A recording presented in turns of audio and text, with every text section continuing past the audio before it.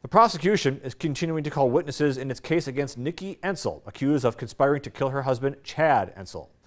Brooke Williams was in the courtroom and brings us the latest. Jurors hearing today from Nikki Entzel's brother, who testified that he gets along okay with his sister. Do you know when they got married? Nope. You weren't at the wedding? Nope. Was not invited. He also described seeing her with Earl Howard on one occasion. When they got in the pickup, must have been an older one with a bench. She scooted over right next to him in the vehicle, and that was uh, upset me Why is that? because she was married, not to him. Jurors also heard from employees of the Staybridge Suites, where Howard and Entzel were staying after Entzel says she and her husband Chad got into a fight over a broken furnace.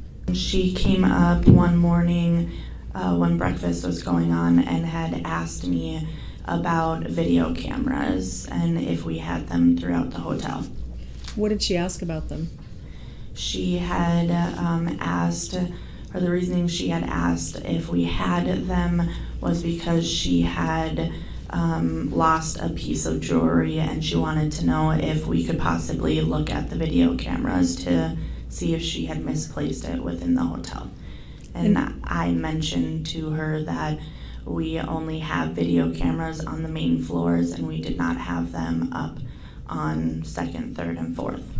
Despite telling investigators that Howard was only a friend, video surveillance captured in the days before and around the time of Chad's murder show Entzel and a man appearing to be Howard embracing and walking hand in hand. A Riddles jewelry store employee also testified that Entzel came to the store on New Year's Day to request copies of receipts from prior purchases, while Praxair employees testified Howard purchased a torch kit from them. Reporting for KX News, I'm Brooke Williams. Howard has already pleaded guilty and is serving a 25-year sentence for his involvement in the crimes. On Monday, the state is expected to continue presenting its case, trying to establish that Entzel had involvement in planning her husband's murder and setting fire to their home to cover it up.